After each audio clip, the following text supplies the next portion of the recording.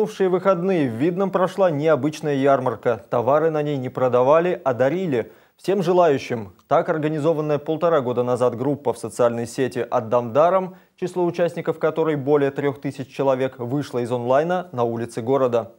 Идея проста. У вас есть ненужные вещи – приносите. Вам нужны какие-либо вещи – приходите и берите. Посуда, книжки, детские игрушки. Популярностью очень пользуются детские вещи, потому что их, как правило, очень много, дети вырастают, и вы- выбросить жалко, продать, ну, на самом деле не так просто. Вот. э, Очень много детских вещей, обувь, э, одежда, ну, как это, немножко бытовой техники, игрушки.